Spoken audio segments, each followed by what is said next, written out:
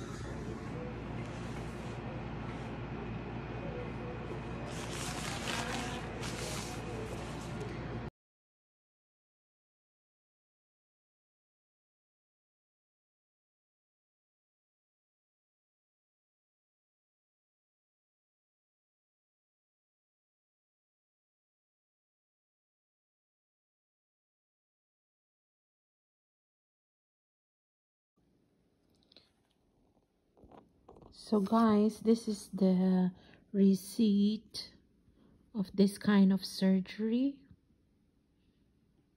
Um, so I had I had uh, root canal surgery on my left molar. So it shows here there's three canals in that molar tooth. So it cost me $940 plus the permanent molar bonded. Uh, one surface it's a $200 so overall it's forty one thousand one hundred forty dollars for uh, for that kind of surgery overall it's a lot painful versus tooth extraction and it's less uh, it's more expensive than the tooth extraction. But the benefit is really good because your your uh, tooth is still there and uh, you don't need dentures denture later on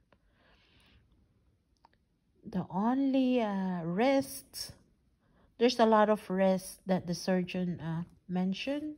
It's just like cracking or possibility of infection.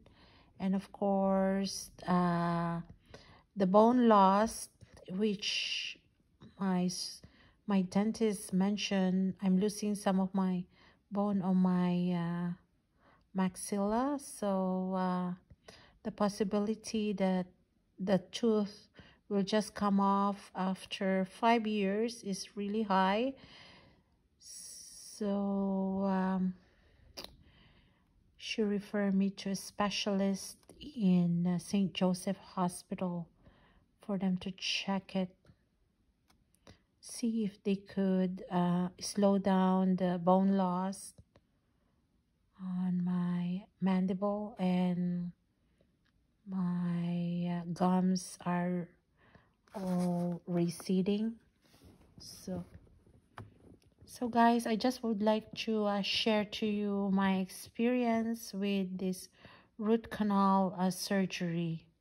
I hope it will help you uh, to decide later on if whether you extract have your tooth extracted or root canal uh, surgery for me I, i've done both. And there's a lot of risks and benefits for both uh, kind of uh, surgery. So it's up to you. It's based on your preference too.